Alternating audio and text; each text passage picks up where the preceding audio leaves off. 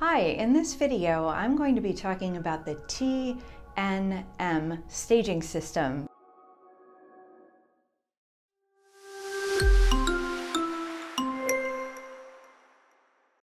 This is something you may have heard about in terms of looking at your pathology report or hearing people talk about this, different doctors talking to one another. And I thought it would be worth explaining what each of these are and then how they come together to help with the stage. So I'm just going to back up a little bit and talk about breast cancer stage.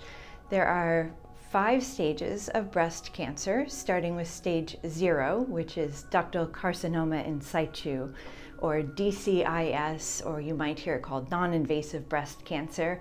We'll drop a link to our video below about DCIS. The next is stage one, and stage is represented in Roman numerals. Stage one, stage two, stage three, and stage four.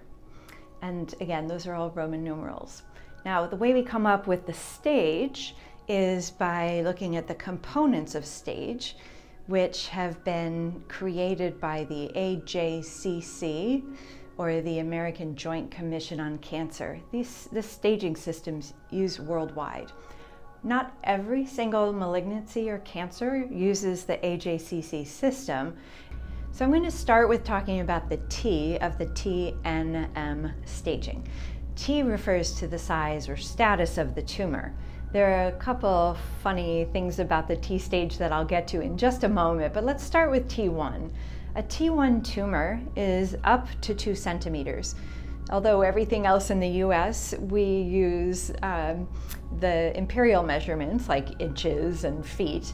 In science, we tend to use centimeters. So two centimeters uh, is actually quite small. It's less than an inch if for reference, an inch is two and a half centimeters approximately. So if that helps, it needs to be, le it's less than an inch to be a T1 tumor. If it's 2.1 centimeters to five centimeters, that's a T2 tumor. A T3 tumor is greater than five centimeters. So five centimeters is about the size of a AA battery. That would be a T2 tumor. And a T5 tumor is bigger than that. What if the tumor is not completely round? A lot of tumors aren't. We use the greatest dimension of the tumor. So in your pathology report, you might see three dimensions. You might see basically the height, the width, and the depth. But in the TNM staging, we use for the T stage the largest dimension. If you'd like to learn more about the stage of cancer you have, visit yerbba.com for your personalized report. T0 uh, tumors are where you don't find the tumor. There is no tumor. Basically what happens is we find the breast cancer in the lymph nodes and we know it's breast cancer because it looks like breast cancer and the markers are like breast cancer, but we don't find the primary tumor. This can happen if your body actually absorbs the primary tumor. Isn't that amazing that our bodies can basically beat back the primary tumor, but cells have already left and gone to the lymph nodes? And then the other funny thing in the TNM system is the use of X. So if we see TX, it means the primary tumor could not be assessed. This might happen in somebody who's had a mastectomy where we can't say there's no tumor, but we can't assess it, we can't find it uh, because the breast tissue's been removed and now we're seeing cancer in the lymph nodes. Okay, so I started with T1, T2, T3, and then I jumped back to T0 and TX. Similarly, with lymph nodes or glands, the number of nodes is what determines what you are. So negative nodes is N0. N1 is 1 to 3 positive nodes. N2 is 4 to 9 positive nodes, and N3 is 10 or more nodes. So it's quite logical. There are no fancy tricks here. Uh, is there an NX? Yes, there is. You can have the lymph nodes not accessible.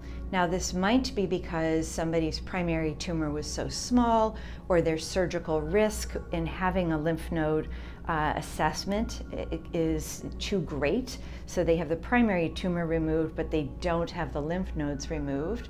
Or somebody may just not have had their lymph node dissection yet.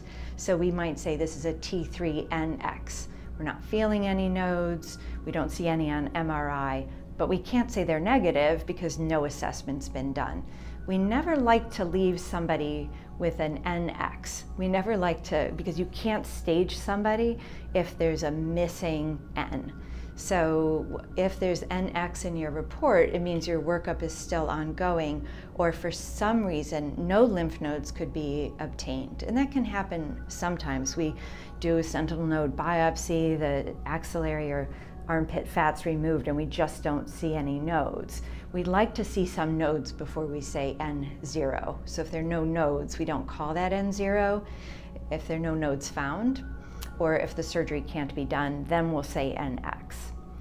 The last one is M, and this refers to metastases. Metastases are cells that have spread to other parts of the body. I'd like to address a common confusion. In your pathology report, you might see lymph nodes that say metastatic cells in the lymph nodes. Technically, that's true.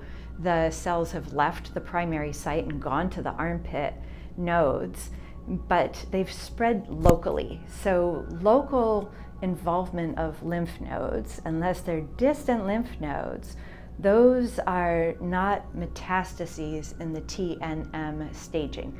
It just means that the lymph nodes are positive. So M refers to spread outside the body, outside the breast and neighboring lymph nodes. So it might be liver, lung, bone. Uh, you might see lymph nodes on the other side, and that would actually be M1. If we don't see any lymph nodes anywhere in the body doing the appropriate staging scans, that's M0. We rarely want to use MX because it means I can't tell you your stage. Anytime this happens, a registry, a tumor registry, doctors talking to each other don't actually know.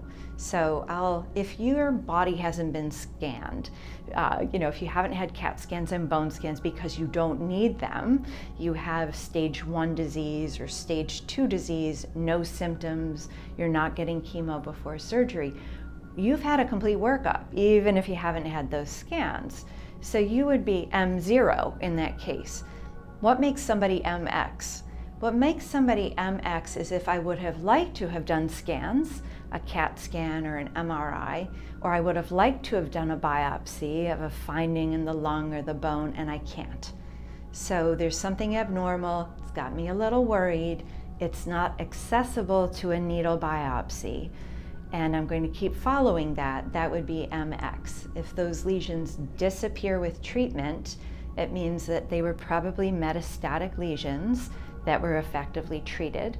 If they stay stable over time, it most likely means that they're not cancer and that you are actually M0. This is a lot to cover. Uh, we have a blog post about staging, and I think that's really helpful to see it as well. If this has been helpful to you, click like and subscribe. And any questions, just drop them in the comments below because we'll get back to you on any questions you have, anything that isn't clear. And don't forget to visit yerbba.com to get your personalized report.